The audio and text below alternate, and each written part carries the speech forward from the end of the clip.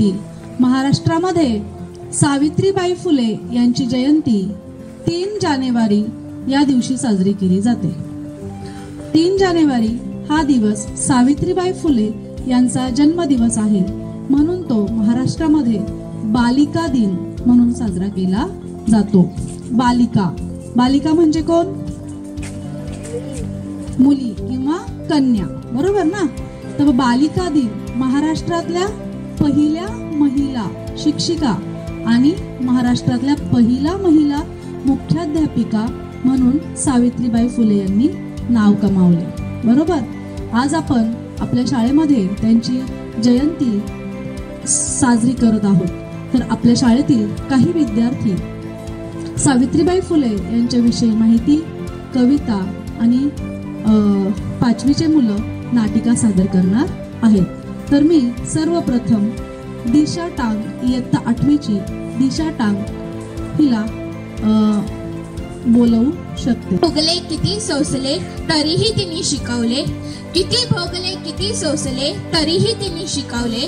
स्त्री शिक्षणाचे धडे पुढे तिच्या साऱ्या लेकींनी गिरवले तिच्या साऱ्या लेकींनी गिरवले. नमस्कार मंडळी.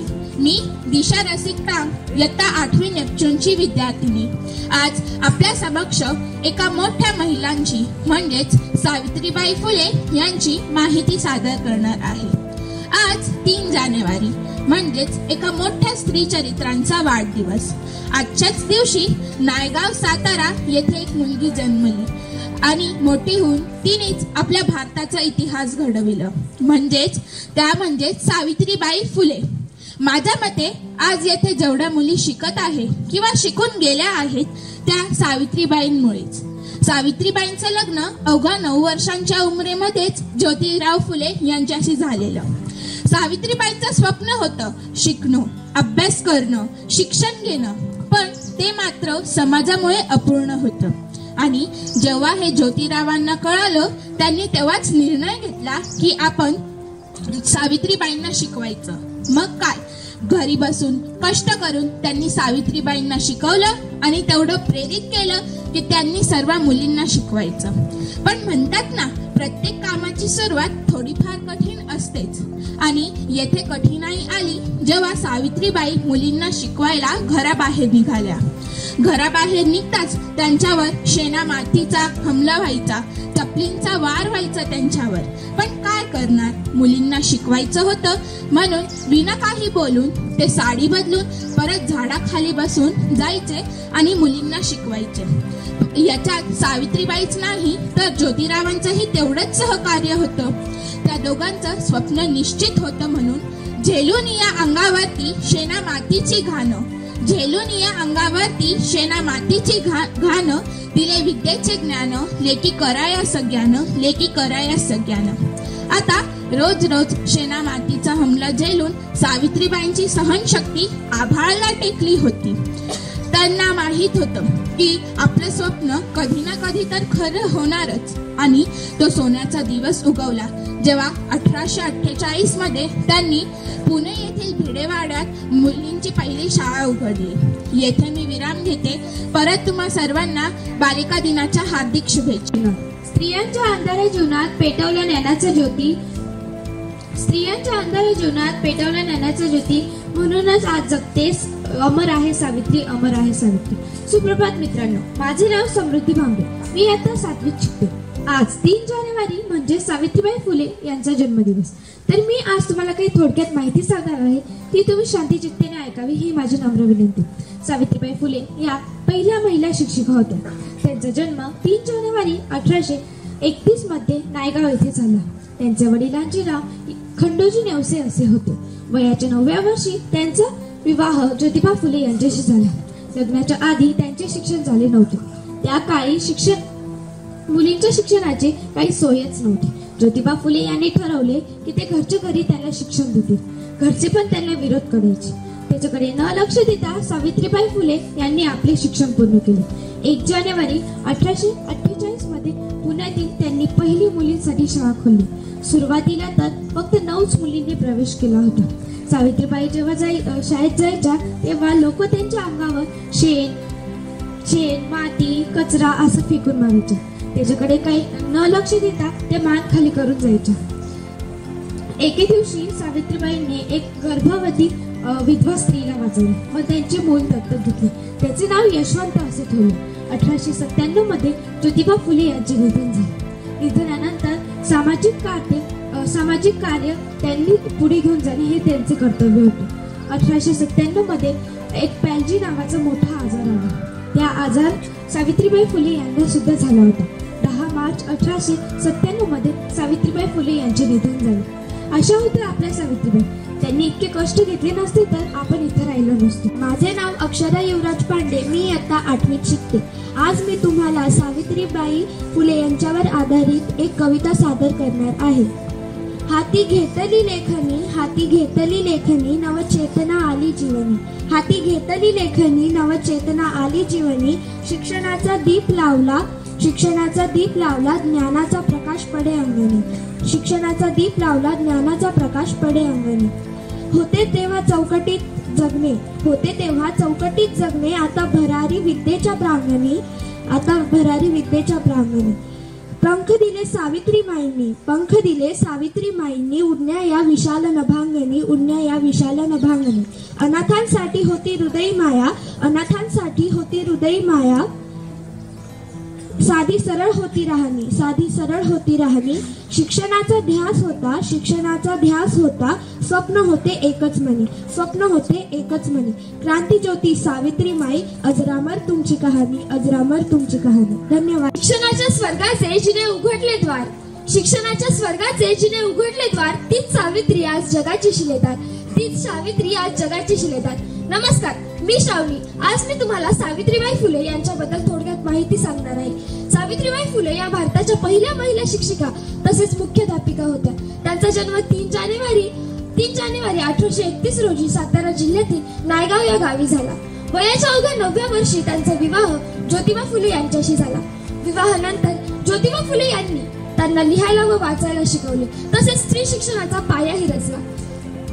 स्त्री शिक्षणाचा पायाही रचला एक जानेवारी अठराशे अठ्ठेचाळीस रोजी सावित्रीबाई आणि ज्योतिबा फुलेंनी पुण्याच्या बुधवार पेठेत मुलींची पहिली शाळा काढली. बालविवाह केशव पंचसती अशा विविध वाईट प्रथांना त्यांनी विरोधही केला. काव्य फुले सुबोध रत्नाकर असे विविध अ, काव्यसंग्रह लिहून त्यांनी समाज जागृती केली. समाज जागृती केली. दहा मार्च अठराशे सत्त्याण्णव रोजी त्यां- त्यांचे त्यांनी अखेरचा श्वास घेतला.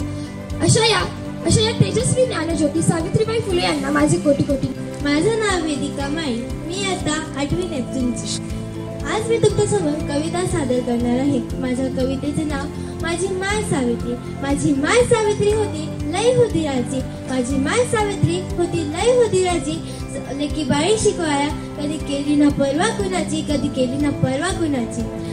सदा धन्याच्या पाठीशी उभी पदर खोचून सदा धन्याच्या पाठीशी उभी पदर खोचून किती केलं रे सर कधी गेली ना खचून किती गेलं रे सर कधी गेली ना खचून.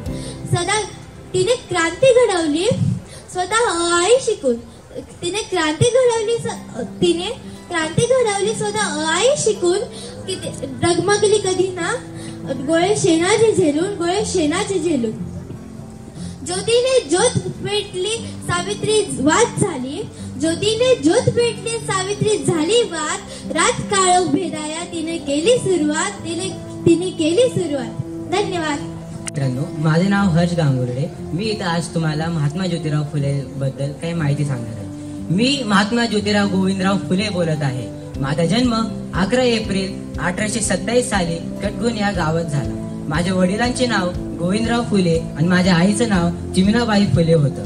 माझ्या जन्मानंतर सगळ्यांच्या चेहऱ्यावर जसा आनंदच आनंद मावला.